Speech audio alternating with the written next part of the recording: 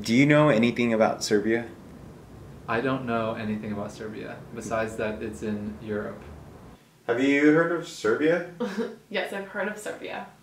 And what do you know about Serbia? Um, I know that it's a country. Yeah. That's pretty much it. Do you think Serbia is safe? It doesn't sound safe. Have you heard of Serbia? I have not heard of Serbia, no. ¿Has oído de Serbia? Ay, sí, mi hijo pobrecito. ¿Qué? Ay, de los niños, ¿no? No, De los que that's that's Syria. Ah, Serbia. ah, entonces no sé. Have you heard of Serbia? Serbia, yeah. Yeah. What do you know about Serbia? Uh, there was a war there in the 90s. Yeah. Have you heard of Serbia? Uh, I have heard of Serbia. Um, I don't know pretty much anything about it though. Okay. Uh, never been. Do you know where Serbia is? The continent is definitely Asia, bro. But Asia. yeah, Okay. But uh, Do you think Serbia is safe? dude, this uh, these times, I'm not even sure if I think any kind of country in the Middle East or anything like that is safe. So, about three years ago, I landed my first job out of college at a startup in San Francisco. One month in the job, they asked me if I wanted to fly out to their second office in Belgrade, Serbia. Never heard of it, but I'm a huge travel junkie. So, any opportunity I have to leave the country, I'm gonna do it. So, I accepted the offer. My Serbian colleagues who worked in the Belgrade office assured me that Serbia is safe despite what you might read on the internet. My family and friends were a bit skeptical of the trip and thought I was going to die, but I trusted my colleagues. I arrived to Serbia and I was greeted by my awesome colleague Bojana. She and the rest of the team took me right under their wing. They all became my best friends and bonded from the beginning. Right off the bat, I could really relate to their culture. Being raised in a Mexican household, I found a lot of similarities between Mexicans and Serbians. We love our family first, very passionate and dramatic at times, and love to get drunk. Yozo, this one is for you, bro. Over the next few weeks, my Serbian friends would show me all around Belgrade and educate me about their complicated history. Now, Belgrade isn't the most beautiful place. The city has gone through a lot, especially in the last 40 years. The death of their most trusted president, Joseph Tito, and its separation from communist Yugoslavia made it really tough for Serbia's economy and their quality of life, which I'll talk more about later. But beauty here lies in within their people and their culture.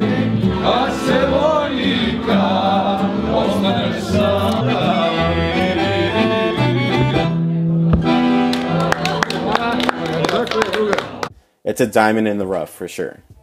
2 million people live in Belgrade, and 7 million people live in the whole country. Novi Sad, their second largest city in Serbia, is also another must stop. It's uh, more of a laid back vibe with plenty of sights to explore, and it's also home to Exit Music Festival, ranked one of the best music festivals in Europe. But most of the Serbia is countryside, and it's incredible. Some of the best sights I've ever seen as far as nature. No matter where you are in Serbia, though, there's one thing that follows you around, and that's Rakia. Rakia. Rakia, rakia, rakia. So, Rakia. It's a type of brandy with alcohol content that can range from anywhere from 50 to 80% alcohol. And oh my god, this shit is strong. You know how tequila has that nasty burn after you take a shot? Well, Rakia will do that and kick you in the balls. The best rakia is found at a Serbian household where it's homemade from previous family recipes. Rakia is deeply rooted with family traditions for every Serbian growing up. Grandmothers use it as a home remedy to cure anything. You have a toothache? Take rakia. Your back is hurting? Take rakia. They drink it at weddings, funerals, and anytime you visit a Serbian home, they want you to try their rakia. And every family says, we have the best rakia. I think that was my favorite memory of Serbia. Not not getting drunk from rakia, but the conversations I would have with the families over rakia. Talking about each other's way of life, getting a sense of how they perceive the world and understanding. O,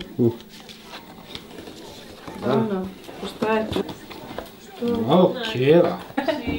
Kako sam bio? Where were you going to? 88, 1988. No, where? Um, in, in, in Macedonia. Yeah. We are be Yugoslavia. I learned about Serbia and their complicated history. It's very confusing, but I'm going to give my best shot to try to explain it. Serbia used to be a province in the Yugoslavia Empire. Yugoslavia was set up as a federation of six republics, and things were going well. They had a strong economy, powerful influence in the world, but then a series of things went wrong. One of the biggest ones was the death of their president, Josip Tito. Then all hell broke loose. A lot of conflicts within the republic started and eventually broke all the federations in Yugoslavia, and Serbia became an independent country. It gets way more complicated, but that's the gist of it. Then in 1999, America played a big role in the NATO bombing to Serbia. Residential areas were bombed, oil refineries were invaded, a lot of pollution to their environment. One of the conflicts was over Kosovo, which America wanted to use as a military base. Because of that, Serbians don't really like America, like the rest of the world. And I get it, I would probably feel the same. Bill Clinton was president when it happened, so the Clinton dynasty is not a favorable one. And same attitude goes for Hillary Clinton. I was actually in Serbia while the 2016 election was just about to happen, and we talked a lot about American politics. A good amount of Serbians would rather have Trump in office, which actually shocked me. So it was eye opening to see both sides. But in the end, Serbians just don't want to go through any more bullshit with the US. And I hope for the same.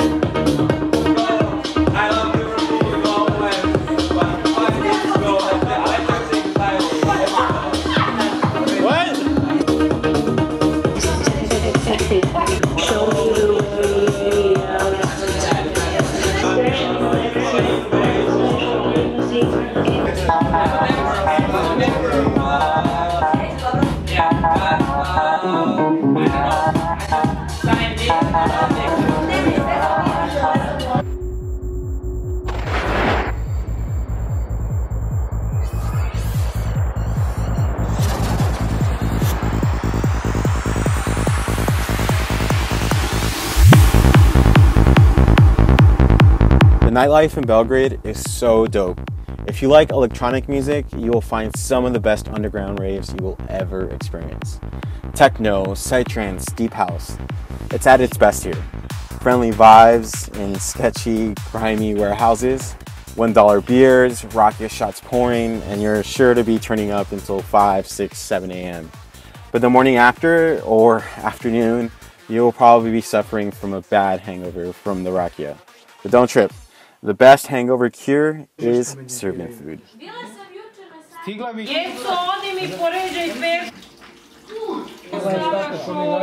This is Kara Jožerva Slica. Probably pronounced it wrong, but just bear with me. Uh, but anyways, it's a fried meat filled with cheese. Can you open it? Oh yeah. Oh, oh, That's kaimak. oh, ah. Let's see the inside. Let's see the inside. oh. It's Oh, rolled meat filled with kaimak. Jesus. That looks really healthy. Yeah. Moussaka, uh, a good friend of mine made this while I was staying with her. And this dish is made with Yeah, potatoes, mixed meats, onions, and carrots. Yeah.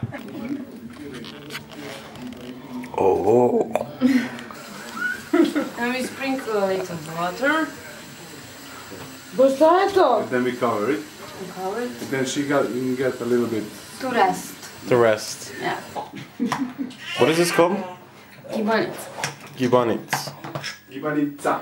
Gibanitza. I realized whatever I ate in Serbia, everything tasted way more rich in flavor. And that's because most of their produce comes from real farms that aren't adding pesticides or GMO. So everything you eat here will taste 10 times better. And then you put him in a bed. You're gonna be a movie star. You're gonna be in my movie. So putty putty putty. Visoko do tavana, visoko do tavana, tashi tashi tananam. Bravo! The thing that surprised me most about Serbia is how safe it is and its low crime rate. Serbia's unemployment rate is over 20%. Its economy ranks at 91, according to the World Bank. Usually, places with great poverty, crime rates are pretty high, not very safe.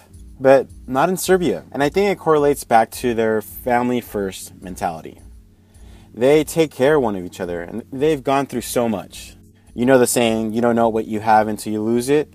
Serbians have lost a lot. But through it all, they stand strong. Serbians are tough. Serbians have big hearts. Serbians are united and the most down to earth people you will ever meet. If you're a traveler all about taking the less traveled path in life, then you have to visit Serbia.